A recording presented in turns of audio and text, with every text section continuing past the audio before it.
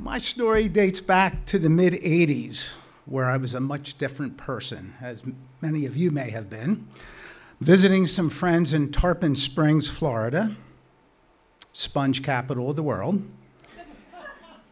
And there's only so many things you can do in Tarpon Springs. And we get the bright idea that we're going to travel to Tampa to watch jai alai. Does anybody know what jai alai is? The sport of jai alai? Little crooked baskets with hard balls, uh, very much like racquetball.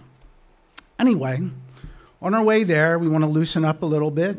Uh, decide to smoke left-handed cigarette of the medicinal kind, of course. And we get to the place where they play this game of jai alai, a big stage in front of you with several team members on, on each team. And they all march out, and you can watch them practice, and you bet on this. It's not just greyhounds that you bet on down there, horses. You, you get to bet on these things. We know very little about this, but everybody else in the crowd seems to have um, their handicap booklets like you do at horse races, and they're very serious about this. We are just carrying on, and I'm noticing these guys warming up, short, squatty guys. They seem to be real quick with, uh, with the baskets, getting the ball back, and I'm thinking these are the guys that I want to bet on. So I do in the in the like the second match.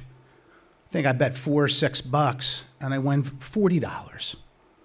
Um, we continue on having a beer in between each match, and I'm betting on these same short, squatty guys, and they keep on winning. We keep on drinking a couple beers.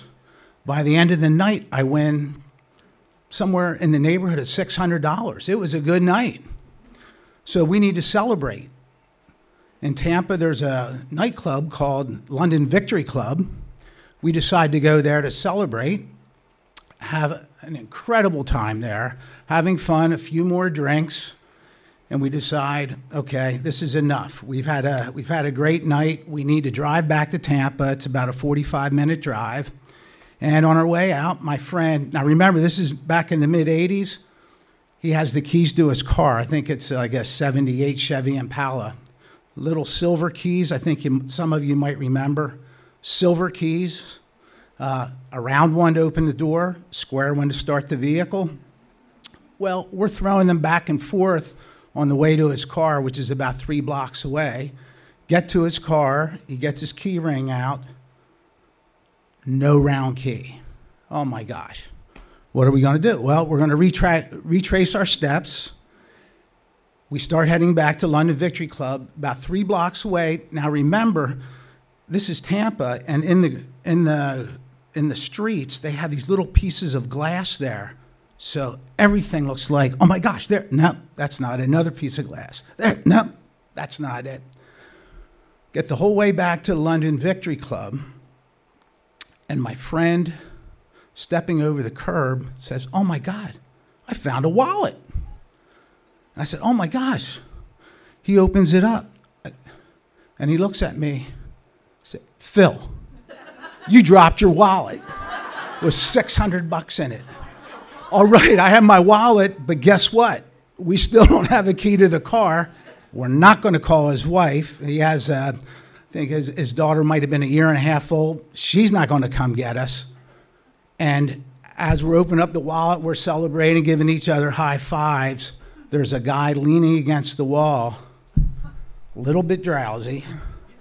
You guys looking for this? And here it was the key to the car. Two losses, two fines, same night. A very good night. Thank you.